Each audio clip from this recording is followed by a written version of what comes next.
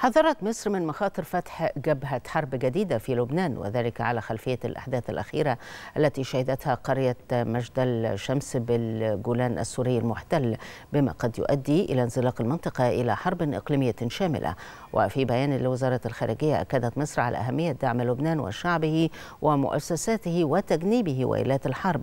كما ناشدت أقوى المؤثرة في المجتمع الدولي التدخل الفوري لتجنيب شعوب المنطقة المزيد من التبعات الكارثية لاتساع رقعة الصراع والتي قد تشكل تهديدا للسلم والأمن الدوليين.